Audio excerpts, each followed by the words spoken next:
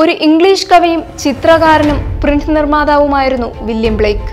ജീവിതകാലത്ത് കാര്യമായ അംഗീകാരമൊന്നും ലഭിക്കാതിരുന്ന ബ്ലേക്ക് കാൽപ്പനിക യുഗത്തിലെ കവിതയുടെയും ദൃശ്യകലകളുടെയും രംഗത്തെ അതികായന്മാരിൽ ഒരാളായി പരിഗണിക്കപ്പെടുന്നു. അസാധാരണമായ അഭിപ്രായങ്ങൾ പ്രകടിപ്പിച്ചതിന് സമകാലീനർ ഭ്രാന്തനെന്ന് മുദ്രകുത്തിയ ബ്ലേക്കിനെ പിൽക്കാല നിരൂപകർ അതുല്യമായ സർവശക്തിയുടെയും അദ്ദേഹത്തിന്റെ കലയുടെ പേരിലും വിലമതിച്ചു. ബൈബിളിനെ ബഹുമാനിച്ചിരുന്നെങ്കിലും ആംഗ്ലിക്കൻ സഭയോട് ശത്രുത പുലർത്തിയ ബ്ലേക്കിനെ ഫ്രഞ്ച് വിപ്ലവത്തിന്റെയും അമേരിക്കൻ സ്വാതന്ത്ര്യ സമരത്തിന്റെയും ആശയങ്ങളും ആകാംക്ഷകളും സ്വാധീനിച്ചിരുന്നു. ലണ്ടനിലെ ഗോൾ സ്ക്വയറിന് അകലെയല്ലാതെയുള്ള സോഹോ എന്ന സ്ഥലത്താണ് ആയിരത്തി എഴുന്നൂറ്റി അൻപത്തി ഏഴിൽ വില്യം ബ്ലേക്ക് ജനിച്ചത്. പിതാവ് ജെയിംസ് ബ്ലേക്ക് മികച്ച രീതിയിൽ കയ്യുറകൾ നിർമ്മിച്ചു വിറ്റിരുന്ന വ്യാപാരിയായിരുന്നു. സന്തുഷ്ടമായ കുടുംബാന്തരീക്ഷത്തിൽ പിറന്നതുകൊണ്ട് വില്യം ബ്ലേക്കിന്റെ ബാല്യകാലം സുഖകരമായിരുന്നു. പക്ഷേ സ്കൂൾ വിദ്യാഭ്യാസം ലഭിച്ചിരുന്നില്ല. അമ്മയിൽ നിന്നാണ് അറിവിന്റെ ആദ്യ പാഠങ്ങൾ ബ്ലേക്ക് സ്വായത്തമാക്കിയത്. ബൈബിളിനെ അടിസ്ഥാനമാക്കി അനേകം ചിത്രയച്ചു പകർപ്പുകൾ ബ്ലേക്ക് തയ്യാറാക്കിയിരുന്നു. തന്റെ മകന് ചിത്രകലയിൽ താല്പര്യമുണ്ടെന്ന് തിരിച്ചറിഞ്ഞതോടെ പിതാവ് വേണ്ട രീതിയിൽ പ്രോത്സാഹിപ്പിച്ചു. ബ്ലേക്കിന് പത്ത് വയസ്സായപ്പോൾ ഹെൻറി പാസിന്റെ ഡ്രോയിങ് സ്കൂളിൽ ചേർത്തു. ചിത്രകലയിലേക്ക് ചുവടുവയ്ക്കുന്ന കുട്ടികൾക്ക് മികച്ച പരിശീലനം നൽകുന്ന സ്ഥാപനമായിരുന്നു അത്.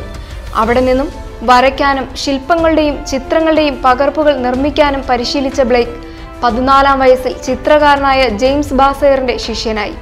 അന്ന് ലണ്ടനിൽ ഏറ്റവും പ്രസിദ്ധനായ ചിത്രയച്ചു നിർമ്മാണ വിദഗ്ധനായിരുന്നു ബാസയർ പലകയിലും ചെമ്പുതകിടിലും മറ്റും ചിത്രങ്ങൾ കൊത്തി ചായം പുരട്ടി കടലാസിൽ മുദ്രണം ചെയ്യുന്ന വിദ്യയായിരുന്നു അത്.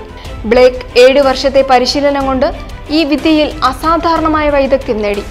ബ്ലേക്ക് ആദ്യം കരാറിലേർപ്പെട്ടത് ലേഡീസ് മാഗസിൻ എന്ന പ്രസിദ്ധീകരണവുമായിട്ടാണ്. ഇതിനിടയിൽ റോയൽ അക്കാദമിയിൽ ചേർന്നെങ്കിലും അവിടുത്തെ ചിത്രകലാ പഠന രീതിയോട് വിമുഖനായിരുന്നു. പ്രകൃതി പകർത്തിവെക്കലല്ല ചിത്രകലയെന്ന് അദ്ദേഹം വിശ്വസിച്ചു. ചിത്രയച്ചുകളിൽ പുതിയ ചിത്രണ ശൈലികൾ നിരന്തരം പരീക്ഷിച്ചുകൊണ്ടിരുന്നു. പക്ഷേ അതുകൊണ്ടൊന്നും മികച്ച കരാറുകളിൽ ഏർപ്പെടാനോ സ്ഥിരമായി നിലനിർത്താനോ കഴിഞ്ഞില്ല. ശരിക്കും മുദ്രണകല അദ്ദേഹത്തെ ജീവിതാന്ത്യം വരെ ദരിദ്രനാക്കി തന്നെ കൊണ്ടുപോയി. ഇരുപത്തിയഞ്ചാം വയസ്സിൽ പിതാവിന്റെ എതിർപ്പ് വകവയ്ക്കാതെ കാതറീൻ ബൗച്ചർ എന്ന നിരക്ഷരയായ പെൺകുട്ടിയെ വിവാഹം കഴിച്ചു. ബ്ലേക്കിൽ നിന്നും വരയ്ക്കാനും അച്ചുണ്ടാക്കാനും കാതറിൻ പഠിച്ചു. ചെലവ് കുറച്ച് ഏറ്റവും ഭംഗിയായി ചെയ്യാമെന്നുള്ള പരീക്ഷണങ്ങളെല്ലാം പാളിപ്പോയി. നിരാശനായ ബ്ലേക്ക് അത് ഉപേക്ഷിക്കാൻ തീരുമാനിച്ചു. പെട്ടെന്നൊരു ദിവസം മരണപ്പെട്ട സഹോദരൻ റോബർട്ടിന്റെ ആത്മാവ് പ്രത്യക്ഷപ്പെട്ട് കൃത്യമായ നിർദ്ദേശങ്ങൾ ബ്ലേക്കിന് നൽകി. അതനുസരിച്ച് ചെയ്തതോടെ എല്ലാം ശരിയായതായും ബ്ലേക്ക് പറയുന്നു.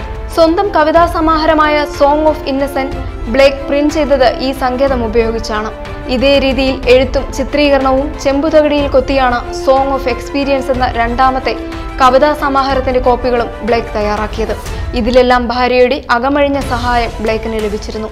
സ്വന്തം പുസ്തകങ്ങൾ തയ്യാറാക്കുന്നതിനോടൊപ്പം മറ്റ് കരാറുകളിൽ ഏർപ്പെട്ടും ചിത്രയച്ചുകൾ തയ്യാറാക്കി മുദ്രണം ചെയ്തിരുന്നു.